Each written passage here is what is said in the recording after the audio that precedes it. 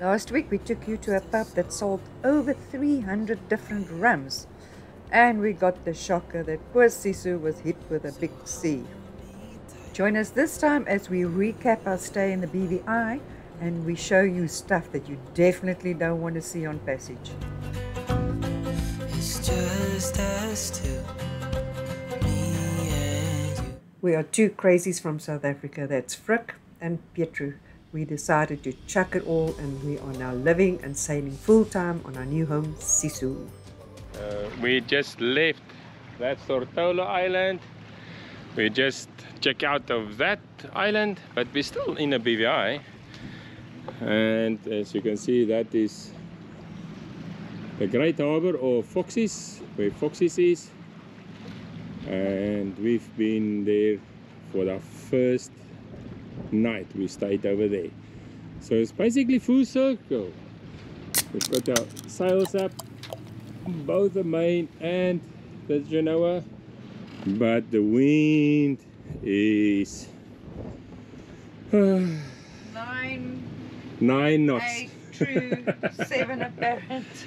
oh eight knots look at that It's just not happening. It And we are doing a full 2.9 knots. oh and we got even down to seven knots through wind oh, seven and not so great A four day trip has turned into a seven and a half day trip. Our, our famous place of recording a video after a country. BVI. Loved it. We actually got to almost all the anchorages of note no? We, we got the tick boxes. yeah we've done the tick boxes Jost Van Dyke Island. yeah and this is the great harbor where Foxy's It's lovely. It's really it's a very very lovely beach but not lovely on the pocket.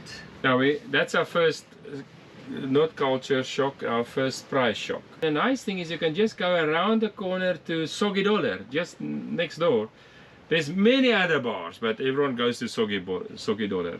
It's Very a nice. cool place. It's really a cool place. Yeah. And then we went to Willie T. Yes, it was amazing. Yeah, It that was nice. That was very cool as well. And then we want to go to Anegada. We just went for a big hike on the island. We walked forever. Oh, that was a long It was so hot, yeah. So we went for huge hikes and stuff. We came back to Saba Rock, which is also part of um, Virgin Gorda. And that is where Sir Richard Branson has two islands, Necker and Mosquito. Mosquito. Yeah, so we were hanging around at the bar, but he never joined us. We sent him WhatsApps and he didn't respond, so he lost. He could have been on YouTube, but Yeah, it could have been on Sisu. he could have been on Sisu on YouTube, but he obviously didn't see that necessary. So to the baths. the, oh, that was amazing. I think that was better than Richard Branson stuff. And that was the first time in all my life since I've known Frik that he actually enjoyed a hike, a walk. That's true. We went to the pub that has 300 rams. 360 360. Uh, we should give them Sisu rum. Balls. Then they have 365. 365, yeah. That was a cool place. We went snorkeling there. And yeah, that was actually a lovely anchorage. Oh, I like BVI. BVI is very nice. Behind that is Jost Van Dyke. I think that is still Tortola over there. Here is already USVI Islands, the US Virgin Islands, and this is Little Tobago, something like that, that we just passed now. So we're saying goodbye to the Virgin Islands, and on this side is just the Atlantic, and somewhere there is the Bahamas. So we've got all our sails up. Doesn't want to work as intended. But the Codiz up, the main is up. But you can see, I think the sea state is not is not make these sails happy. But it looks great. If they fly. oh man. We had to switch on some engines, but look at what's Petru doing. She is making Sushi. sushi. So the, for the first sunset meal on this passage, five day passage, we're going to do sushi. But unfortunately, store bought salmon. So it's not a mai or something that we caught. it's come out of a plastic bag. Look at that. Looks so cool. so this Wow. is smoked salmon that we bought in our South African store. Norwegian smoked salmon in a South African store in Tortola, In the British Virgin in the Islands, BVI. where there's no canaries. Look! We have just had salmon sushi out of a packet. and we go, go to the back and we've got the real McCoy. But this is a baby, a bonito.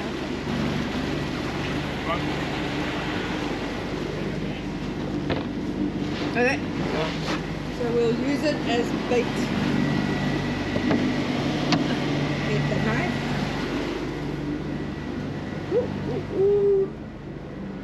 And it is sun sunset, which is a good thing. Okay, this is our go-to knife. There we go. It's not that small. you can have two meals out of that thing. Yeah, you can. Yeah, it's not that small. It is now the second morning and we are entering the, the cold front. You can see over there is already raining, over there is also raining and sun is about to come up. That's, and that's where the cold front is approaching us from. So we have a lot of rain very soon. But look at the swells. Getting bigger and bigger. I'm standing here on on a sugar scoop and I can measure the the waves by just looking eye level where I can see the horizon. So you are now about eye level for me and you will see at the back you cannot see the horizon. Not every time but every now and then. We're on top of one so you can see the horizon and many waves. And now we're down. And you can only see that one wave. With all the the weather around us and also now with this front moving in towards us just look at that view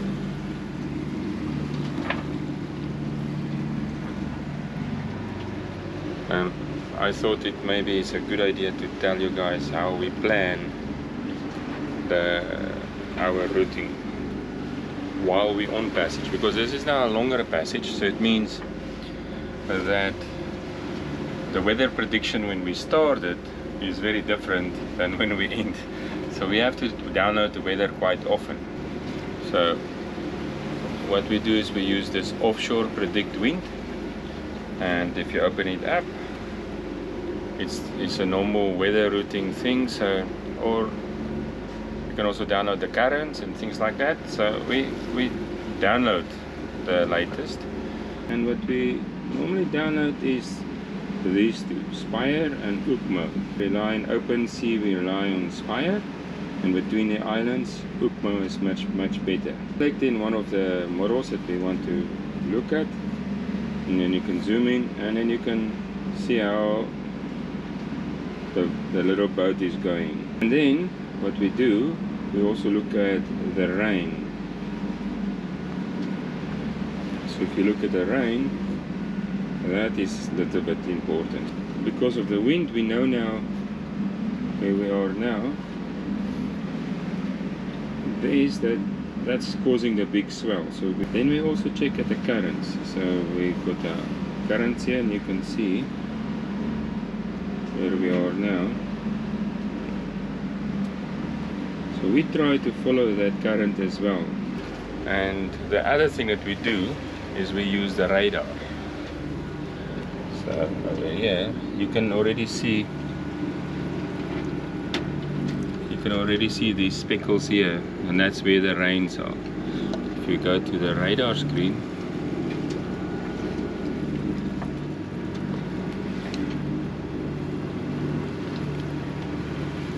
can see there's the rain and over here is the rain and there's a little bit of rain and in front of us also a little bit of rain So for the first part of the journey, we had loads and loads of clouds all the way around us. This cold front wouldn't leave us alone.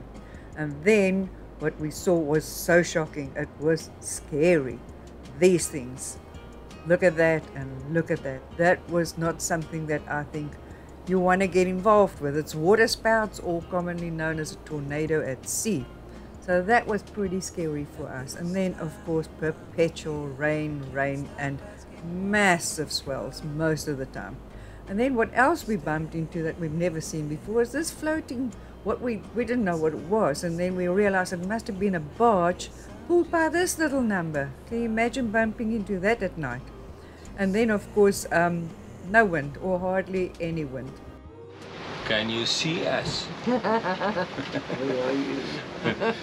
oh no this light is not so good so we we've been told that we need to be at drop-offs and reefs and they like to catch fish so we The got our lines out yeah Uh, the fishing saga continues. yeah we, we, we yeah we still struggle to catch fish but so we thought we will go the biggest drop-off that we've ever seen eh? In the Atlantic, I'm sure it's the biggest one in the Atlantic.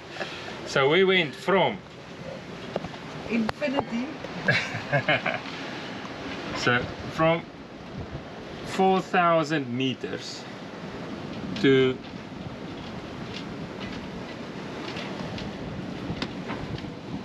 Twenty-two meters or thirty meters, and there's even nineteen meters. There's eight point five meters. Eight point five meters. So we went not for that one because there's three meter swells and we were a little bit worried about break, breaking seas but we went from 5000 4000 1000 and then 30 meters you see we're still at 30 meters which is scary. yeah And the wind is gusting. yeah the wind is not nice the sea is not nice Uh, it's just not nice. Uh, but at least our, we are sailing. It's good. Engines are off. no, we've been motoring for two days now. So we, we race to get to this point.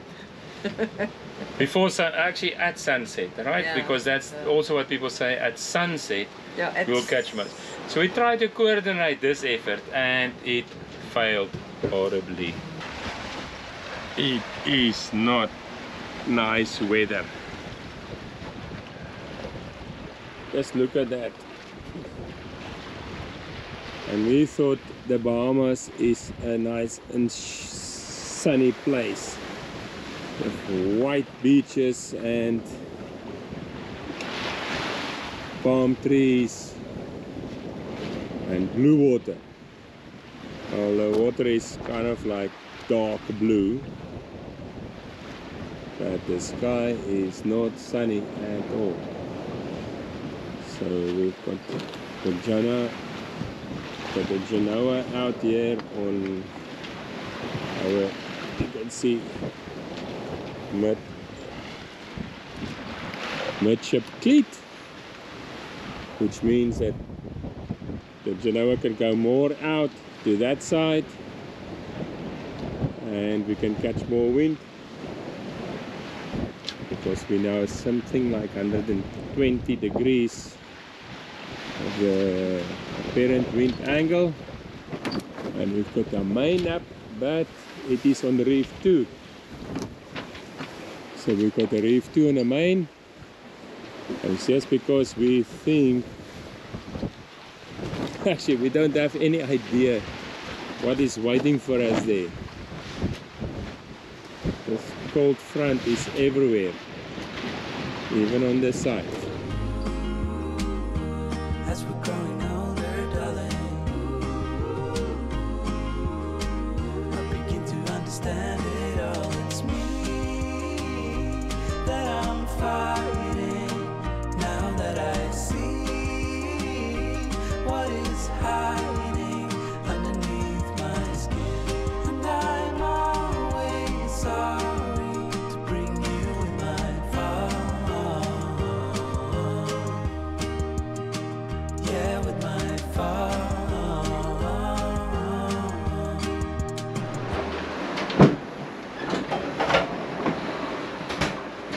Really rough out there, as you can see in the window. So it is soup night tonight. Yeah, we've got lots of rain around us and storm and stuff like that. Uh, And- so we think it is soup night, Soup. pre-cooked veggie soup with meat in. Veggie soup Yeah, the green stuff soup, but it's red, so you can eat it. And toasted cheese. toasted cheese. Salmis to go with it. I think we need a hearty meal with A this weather. meal, yeah. Uh, this weather is not nice. Oh, we're going to winter. Uh, oh, we're just out, out the Caribbean. yeah, I thought Bahamas is palm trees and sunny beaches.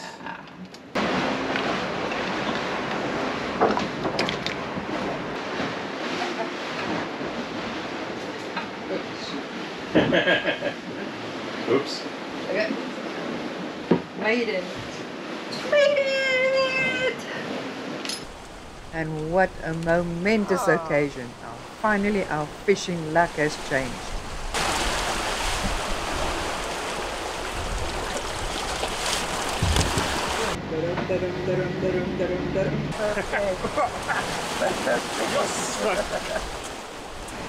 And finally, we got good ones. So it was an amazing sail for the next two and a half days, all the way to the Bahamas.